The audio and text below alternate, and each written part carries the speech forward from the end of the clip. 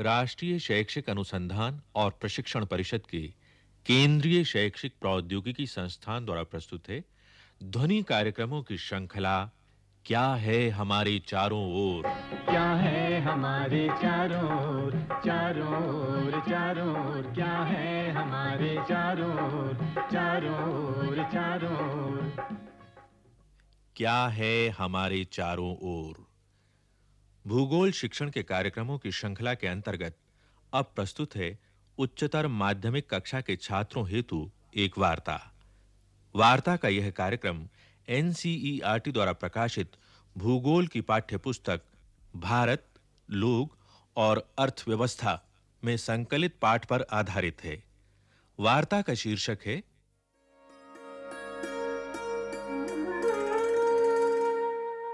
गरीबी और पर्यावरण ह्रास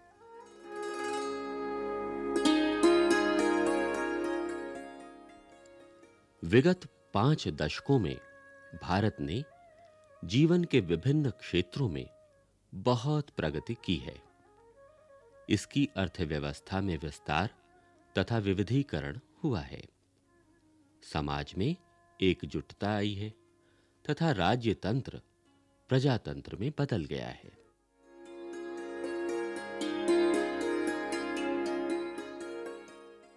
इसे अनेक समस्याओं का भी सामना करना पड़ा है। इनमें से अनेक का सफलतापूर्वक समाधान कर लिया गया है।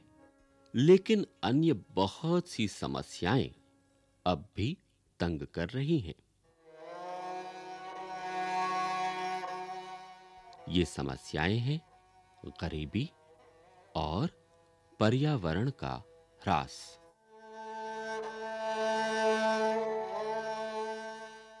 गरीबी।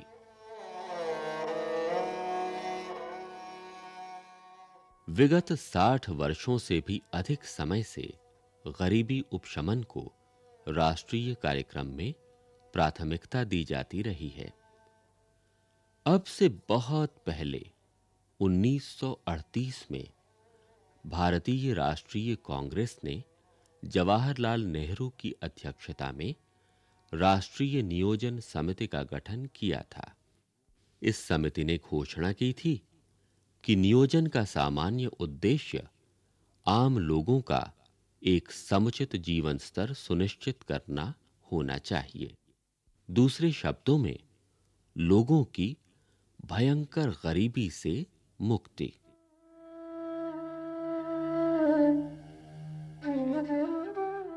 गरीबी को कम करने की महत्ता और अन्य आधारभूत आवश्यकताओं को पूरा करने के लिए सभी पंचवर्षीय योजनाओं में मुख्य रूप से पांचवी योजना के बाद से विशेष बल दिया जाता रहा है।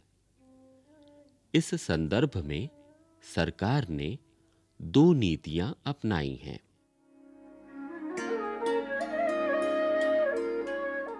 एक, आर्थिक विकास को प्रोत्साहित करना तथा दो, गरीबी उपशमन के लिए प्रत्यक्ष कार्यवाही।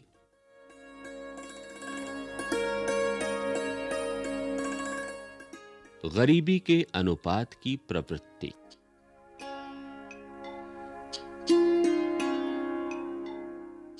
गरीबी पर अनेक आकलन उपलब्ध हैं। योजना आयोग, राष्ट्रीय और राज्य स्तर पर गरीबी के विस्तार का आकलन करता रहा है। इसके लिए उसने गरीबों की संख्या और अनुपात के आकलन के लिए बनाए गए विशेषज्ञ दल, लाकड़ा वाला समिति के प्रतिवेदन में अपनाई गई विधियों का उपयोग किया था।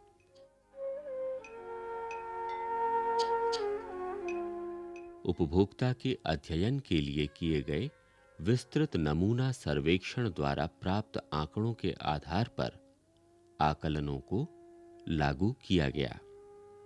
राष्ट्रीय नमूना सर्वेक्षण संगठन, ऐसे सर्वेक्षण लगभग हर पाँच साल बाद करता है। इस आधार पर राष्ट्रीय और राज्य स्तर पर गरीबी के तुलनात्मक आकलन 1973-74 से लेकर 1999-2000 की अवधि के उपलब्ध हैं।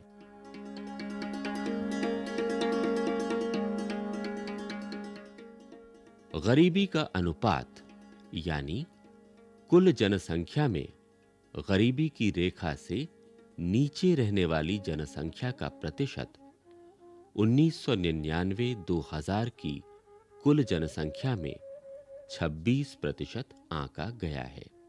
गरीबी का विस्तार निरंतर घट रहा है।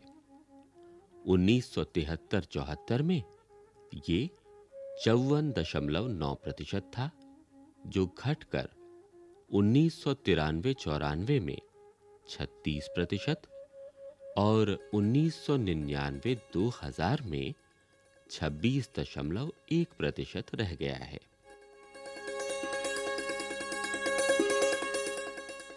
यद्यपि गरीबी का अनुपात तो घटता गया, लेकिन गरीबों की संख्या दो दशक, यानी 1973 से उन्नीस सौ तिरानवे की अवधि में लगभग 32 करोड़ ही बनी रही।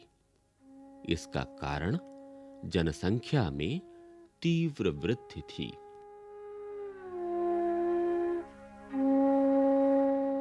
ग्रामीण गरीबी निरंतर घट रही है। 1980 के दशक में ह्रास की दर तेज थी।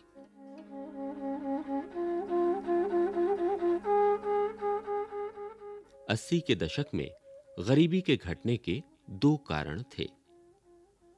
कृषि का स्थिर विकास तथा सरकार के गरीबी उपशमन के कार्यक्रमों का प्रभाव।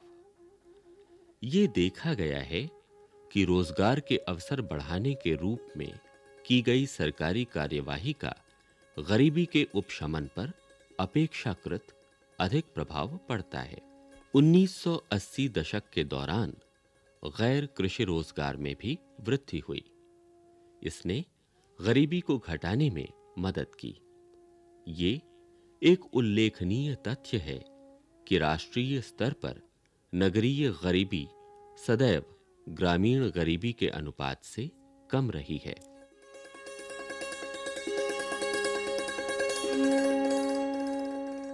विचाराधीन अवधि में सभी राज्यों में गरीबी का अनुपात घटा है, लेकिन केरल, जम्मू और कश्मीर, गोवा, लक्षद्वीप दिल्ली, आंध्र प्रदेश, गुजरात, तमिलनाडु, कर्नाटक, पश्चिम बंगाल तथा अंडमान और निकोबार द्वीप समूह में उल्लेखनीय कमी हुई है।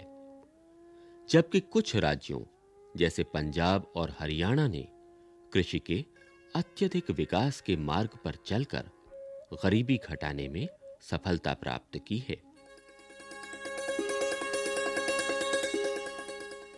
इसके विपरीत अन्य राज्यों ने अन्य विशिष्ट क्षेत्रों के विकास द्वारा सफलता पाई है।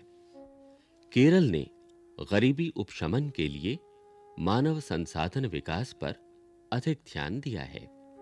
पश्चिम बंगाल ने भूमि सुधार उपायों और पंचायत सशक्तिकरण को लागू किया है। आंध्र प्रदेश ने खाद्यान्नों के सार्वजनिक वितरण के रूप में प्रत्यक्ष सार्वजनिक हस्तक्षेप का सहारा लिया है।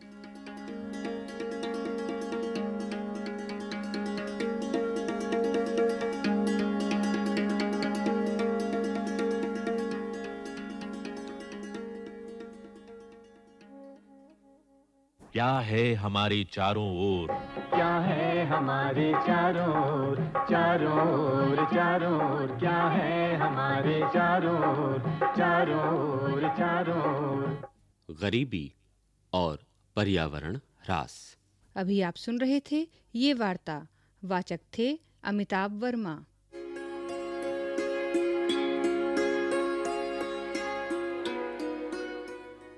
विषय संयोजक प्रोफेसर रामजन शर्मा विषय संपादन आर पी मिश्र आलेख एस के शर्मा निर्माण संचालन प्रभुदयाल खट्टर ध्वनिंकन सतीश लाड़े और दीपक पांडे, निर्माण सहयोग, दाऊदयाल चतुर्वेदी तथा निर्माण एवं प्रस्तुति, वंदना अरिमर्दन।